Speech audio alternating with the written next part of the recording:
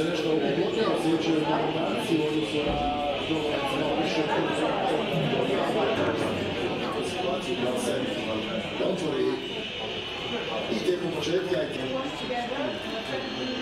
Naravno, Perišića i Suse u pokušaju njihovog